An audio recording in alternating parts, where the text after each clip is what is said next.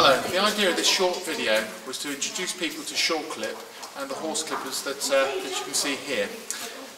These clippers are very robust, they're lightweight, low vibration and they keep very cool, which are all important things when you're clipping your horse. So, if we can start, we'll run through some of the basics of how to set up the clipper and then we'll go on to show you how to do a short clip and a, a trace clip on the actual uh, horse over here. One of the main problems with uh, clipper performance is setting the clipper up correctly and this is very important. So the first thing that you need to do when you're setting up your clipper is using the tool, remove or undo the two screws on the bottom. Slacken those off. Take off the tension here by turning this. So you've removed the tension, you've slackened these two screws off. Now the comb, which is the bottom, can come out and the blade, which is the top, can come off quite easily. So you have the two, thing, two items here. Now, the first one to put back on is the blade, and you can see it's got the two holes here. These line up with the two teeth here. Once they're on, you can put the comb on. The comb goes this way round, so you can see that it's got some indentations on that side. You put those on. Now, you'll notice that you can line up on the back, this black back here, you can line up where this part, where the, where the comb is going to fit. And that comb goes backwards and forwards and is adjustable. And that's, that's the idea behind having the two screws so that you can get the right length. Now basically what's happening is you will want to set it up so the teeth are roughly two millimeters behind the front of the comb. And the main reason for this is obviously so that you don't cut the animal or get any danger for the horse. So, move this back slightly up to about sort of two, three, three millimeters and then tighten it up with the, with the tool here. You might find this is a bit of trial and error and you might need to adjust this later on. But once you've got the correct length, you'll find cutting a lot easier, a lot easier. So there we go, we'll tighten that up. And I've actually set it up and it's just a little bit too far back off of there at the moment. So I'll adjust it and move it back just slightly. Setting up again. And there we go.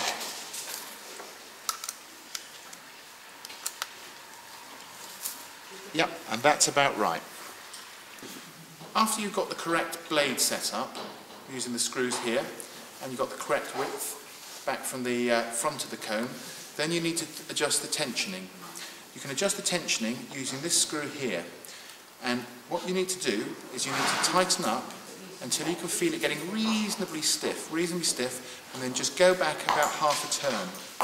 This you can do by trial and error, by trying on the horse and then tightening it or releasing the tension a bit. But what you don't want to do is you don't want to have it too tight because if it's too tight, it'll cause wear on the blades, excess wear. Obviously you don't want that to happen. And then you don't want them too slack so that the teeth are chattering because this can damage the teeth and you just will not get the, uh, the correct performance. Remember to oil your clippers well before you start and then occasionally during your clipping. It should be absolutely safe to the touch when the motor's running so there's no blade sticking in front. I'm here with Emma and Primrose and we're going to start showing you how to do a trace clip.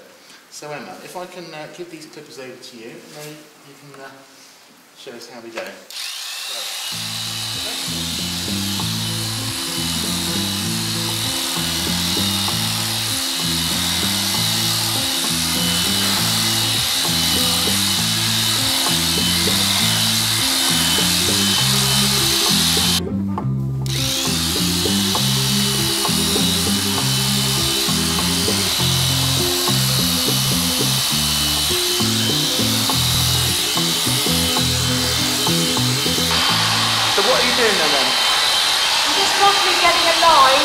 Yeah. And then I'll go up like so to get a really clean, sharp line.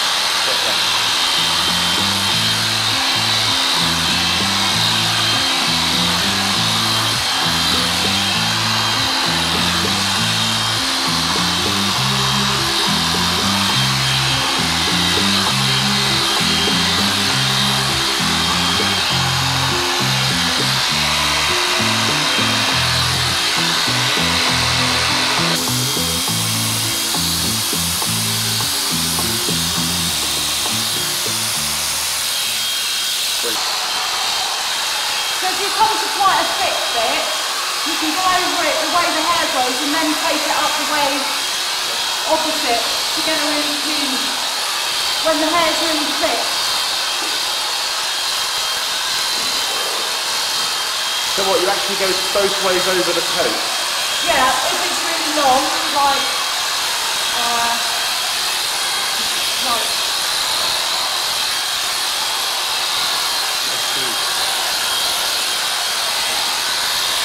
With, some of the difficult parts, are you actually pulling the skin a little bit? yeah, just so that the skin's really flat, so you haven't got any wrinkles in the skin, especially around the chest area where they get wrinkly. So just pull the skin and then like that. Right. How often do blades need to be sharpened? Once every three clips if we're doing a hunter clip. Right. Three, three clips. Is it important to have a clean horse beforehand? Yeah, very important. All mud, wet, gone. And not wet either, completely dry. Completely dry. Yeah. So would the best thing to be to bring it in the day, wash it the day before? No, you don't have to wash them. Just make sure they're free of mud and sweat. Right. And the coat's completely dry and green. So Emma, are there any things you can do if your horse is very nervous? Well, first of all, approach the horse um, and always come to the shoulder.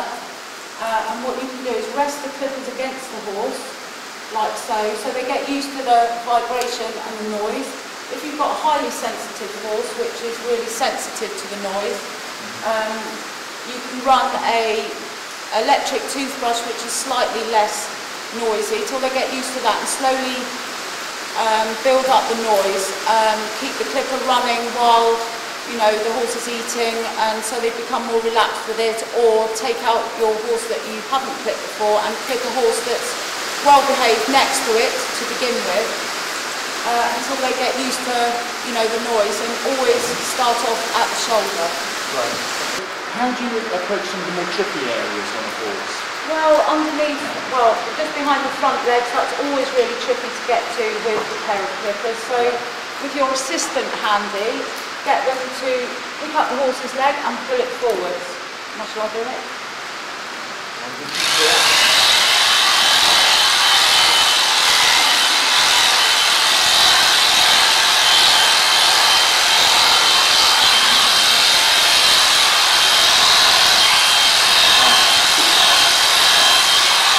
One of the main reasons we put this demonstration together is to show customers how to use their clippers. Don't let the very cheap price of these clippers put you off. They're something like 20% the cost of a market leader. And there's absolutely no reason you shouldn't get the same performance and the same lifetime out of your clippers as long as you look after them properly. And the, out of any clippers that we get returned, very, very few have a fault. Main problems with returned clippers are customers not setting them up correctly. The set of clippers that you saw Emma use earlier on today have been returned by a customer and the reason that they were returned is they said that they didn't work. But in actual fact, there's no problem with the clippers, they've just been set up incorrectly because the blade length, as you saw me demonstrate earlier, adjusting it with these two screws and the tensioning. So I think there's only one more thing to say, and that is you should really use a circuit breaker, an RDC circuit breaker, on your extension cable, just in case there's any problems. And uh, happy clipping!